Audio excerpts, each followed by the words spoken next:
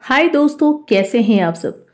सो so, दोस्तों आज मैं आपके साथ नारियल का एक ऐसा नुस्खा बताने जा रही हूँ जो कि परमानेंटली आपके सफ़ेद बालों को काला कर देगा एक ही बार में। इसे आप दो तरीके से इस्तेमाल कर सकते हैं। सो so, सबसे पहले हम ये देखेंगे कि हमें इसमें से क्या चीज़ लेनी है जिसका इस्तेमाल करके हमें बनाना है चारकोल पाउडर। सो गाइज़ यहाँ पे मैंने लिया है नारियल का छाल। नारियल का जो छाल होता है वो बहुत ज़्यादा मोस्टली दो चीज़ में इस्तेमाल किया जाता है। सबसे पहला तो होता है आपका जो खाद होती है जो इसका बनता है खाद, क्योंकि इसमें पानी को सोखने की क्षमता ज़्यादा होती है, इसलिए इसका इस्तेमाल किया जाता है। इस चीज़ के लिए। एंड सेकेंड होता है आपके बालों को काला किस तरीके से करें। तो इसके लिए हमें लेना क्या है? आपको ये पूरी जो छाल है वो पूरा छाल इस्तेमाल नहीं करना है। इस छाल में होता है पाउडर। उस पाउडर का आपको इस्तेमाल करना है। सो so, जैसे कि आप देख सकते हैं मैंने यहाँ पे छाल ले ली है। और नारियल का ये ऊपर का जो छिलका होता है वही है। तो आपको इस तरीके से एक एक छाल को लेना है और इसमें से पाउडर्स को निकालना है किस तरीके से मैं आपको यहाँ पे बता रही हूँ। तो ये जो नीचे आप देख सकते हैं छोटा थोड़ा थोड़ा सा मतलब ये दरदरा टाइप का निकल रहा है। सेम ऐसे ही हमें निकालना है इसमें से। तो आप देख सकते हैं मैंने यहाँ पे एक छाल ले ली है और इसे दोनों साइड से पकड़ के आपको थोड़ा सा रब करना है। मतलब इसे आ, थोड़ा आ, मतलब थोड़ा तेजली आपको इसे थोड़ा सा इस तरीके से मोड़ना है, इस तरह से रगड़ना है, रब करना है, जिसकी वजह से क्या होगा कि इसके अंदर से जो पाउडर्स हैं, वो नीचे गिरेंगे। जैसे कि आप देख सकते हैं कि मैं यहाँ पे इसको जब रब कर रही हूँ तो पाउडर्स नीचे गिर रहे हैं। सो ये जो पाउडर्स नीचे गिर रहे हैं, वही पाउडर्स आपको चाहिए। आपको पूरा छाल नहीं लेना है, इसे पीसेस में कट नहीं करना है। सिर्फ़ इस पाउडर को आपको निकालना है। तो जैसे कि आप देख सकते हैं कि ये जो पाउडर है, ये यहाँ पे आपको दिख रहा होगा। सो आपको ऐसे ही करके जितना भी छाल रखा हुआ है, उसका जो पाउडर है, इसका जो कंपोज़र है, वो आपको निकाल के यहाँ पे रख लेना है। तो थोड़ा सा टाइम लगता है, लेकिन ये बहुत ही परमानेंटली इफ़ेक्टिव तरीका है आपके बालों को काला करने के लिए। सो so गाइज़ आप देख सकते हैं, मैंने यहाँ पे पाउडर्स को निकाल लिया है।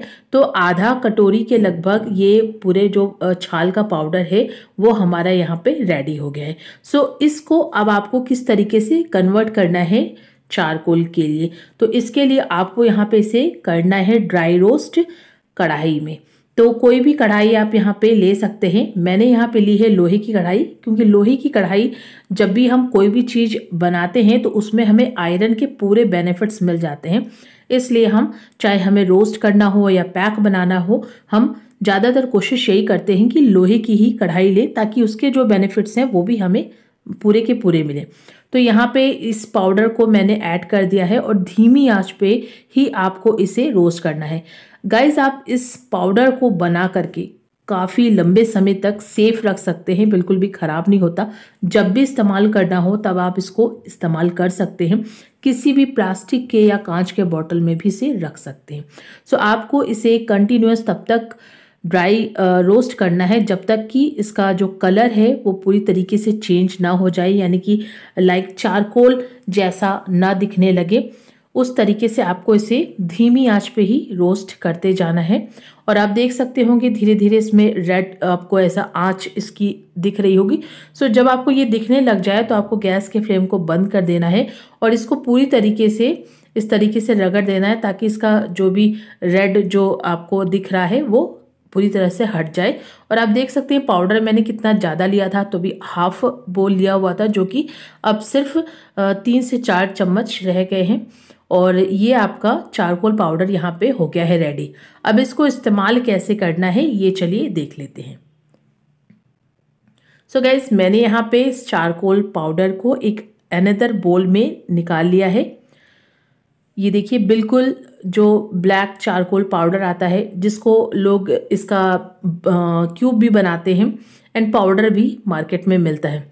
बिल्कुल इफ़ेक्टिव और परमानेंटली स्टॉक बालों में करने वाला ये कलर होता है। इसको जब भी आप इस्तेमाल करेंगे ना तो आपके बाल से कलर कहीं पे भी नहीं जाएगा, ना कहीं बाहर निकलेगा और ना ही वॉश के दौरान निकलेगा। ये इतनी जल्दी असर करता है बालों पे। इसको इस्तेमाल कैसे करना है, मैं आपको दो तरीके बताऊँगी। सबसे पहले एक अनदर बोल ले लेंगे। इसमें आपको ऐड करना है ऑयल तो मछली आप ऑयल कोई भी ऐड कर सकते हैं। लेकिन नारियल का तेल अगर ऐड करते हैं तो ज़्यादा अच्छा है। जैसे ठंडी है तो नारियल का तेल जम जाता है तो आप वर्जन कोकोनट ले सकते हैं। वर्जन कोकोनट ऑयल भी आप बालों में लगा सकते हैं। ये जल्दी से जमता नहीं है। एंड इसके अलावा आप सरसों का तेल ले सकते हैं, तिल का तेल ले सकते हैं। कैस्टर ऑयल और बादाम का तेल मिक्स करके ले सकते हैं। तो यहाँ पे दो चम्मच के लगभग मैंने नारियल का तेल लिया है। एंड आधा चम्मच के करीब आपको इस जो चारकोल पाउडर हमने कोकोनट पील का बनाया हुआ है, उसी का हमें लेना है। एंड इसके साथ आपको इसमें ऐड करना है अदरक का रस। अदरक का रस गाइस हमारे स्कैल्प को पूरी तरीके से प्यूरीफाइड डेंड्रफ फ्री कर देता है।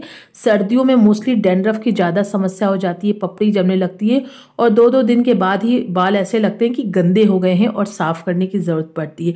तो अदरक क्या करता है, ये आपके बालों को पूरी तरह से प्यूरीफाई कर देता है और डिटॉक्सीफाई कर देता है। यह बालों को हेल्दी भी बनाता है स्कैल्प को सबसे ज़्यादा स्ट्रॉन्ग बनाता है।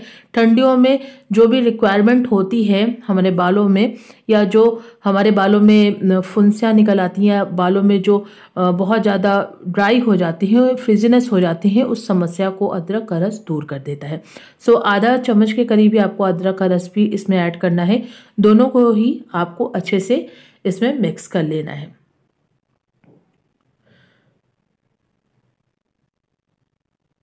सो गैस यहाँ पे अब मैं बताती हूँ आपको कौन से दो तरीके हैं जिससे इस्तेमाल आप कर सकते हैं। आप इसे ड्राई भी इस्तेमाल कर सकते हैं, यानी सिर्फ़ और सिर्फ़ ये चारकोल पाउडर भी आप इस्तेमाल कर सकते हैं अपने बालों में डायरेक्ट से। ये बिल्कुल आपके बालों से हटेगा नहीं।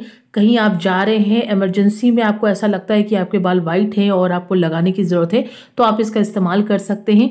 जब भी लगाएँगे, बाल से बिल्कुल भी हटता नहीं है, बहुत अच्छा सा कलर देगा। एंड जब आपको ऑयलिंग करनी हो तो आप इस तरीके से ऑयल बना करके भी इसका इस्तेमाल कर सकते हैं। तो ये दोनों ही तरीके बहुत ही ज़्यादा इफ़ेक्टिव हैं। आप कोई भी तरीका इस्तेमाल करेंगे, आपके बाल परमानेंटली तौर पे काले हो जाएँगे। चाहे तो आप ड्राई इस्तेमाल करें इस तरीके से, या फिर आप लिक्विड तौर पर बना करके इसे एज आ ऑयल के तौर पे भी इस्तेमाल कर सकते हैं। आपको इसे हफ़्ते में कम से कम दो बार इस्तेमाल करना है, और इसे बालों में लगा करके अच्छे से एक घंटे तक रखना है एंड इसके बाद हेयर वॉश कर लेना है। आई होप गाइज़ आज की वीडियो आपको पसंद आई हो तो प्लीज़ इसे एक लाइक कीजिएगा शेयर कीजिएगा। चलिए फिर से मिलते हैं एक अनदर वीडियो के साथ, तब तक के लिए बाय बाय टेक केयर अपना ध्यान रखें।